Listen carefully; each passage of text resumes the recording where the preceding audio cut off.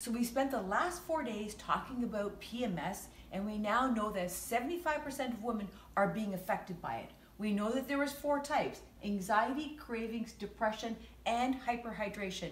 We also know things like sweating and breast tenderness and, and waking up in the middle of the night are all signs, some of the symptoms. I did give you some vitamins to take for these four types, but the real problem lies in our food. The food affects the production and the secretion of our hormones. And the solution for this, the ultimate solution, is one of the fastest growing programs known as Metabolic Balance. Metabolic Balance is a completely natural program that balances your hormones. It looks at your 35 blood values, your personal health history, and gives you a personalized plan to help you with your PMS. So if you are suffering from any of these things, then direct message me and let's get you started.